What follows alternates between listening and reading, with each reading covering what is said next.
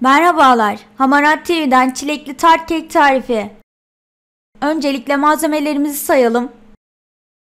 Muhallebisi için 2,5 su bardağı süt, 2 yemek kaşığı un, 1 yemek kaşığı nişasta, 3 yemek kaşığı toz şeker. Keki için 1 çay bardağı süt, 1 çay bardağı toz şeker, 1 çay bardağı sıvı yağ, 2 adet yumurta, 3 çay bardağı un, 1 paket şekerli vanilin, 1 paket hamur kabartma tozu, çilekli sos için 700 gram çilek, 3 yemek kaşığı toz şeker, 1 yemek kaşığı nişasta. Mikser kabına aldığımız yumurtalarımızın üzerine toz şekerimizi aktarıyoruz. Mikserle yumurtalarımız beyazlayıncaya kadar çırpıyoruz. Üzerine sıvı yağını ve sütümüzü alıyoruz. Tekrar çırpıyoruz.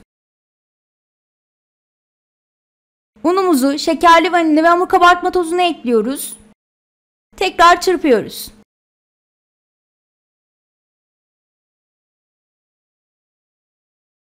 Hazırladığımız kek hamurunu yağlayıp unladığımız tart kalıbına aktarıyoruz.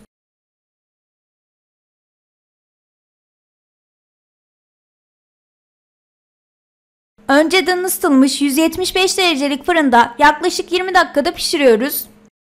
Kekimiz pişti. Kekimizi soğumaya bırakıyoruz. Biz bu arada muhallebimiz için sütümüzün içerisine nişastamızı, unumuzu ve şekerimizi alıyoruz. Sürekli karıştırarak kaynatıyoruz.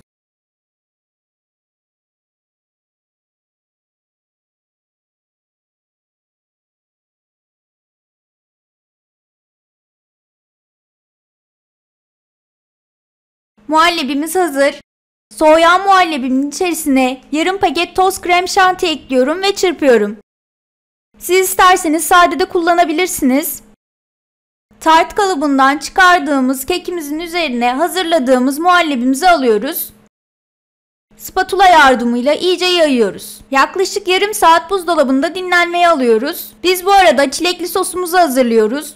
Yıkadığımız çileklerimizi robottan geçiriyoruz. Robottan geçirdiğimiz çileklerimizi sos tavasına alıyoruz. Üzerine toz şekerimizi ve nişastamızı ekleyip sürekli karıştırarak kaynatıyoruz. Kaynayan çilekli sosumuzu soğumaya bırakıyoruz.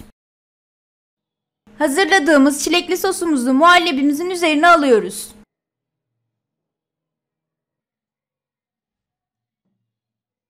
Spatula yardımıyla iyice yayıyoruz.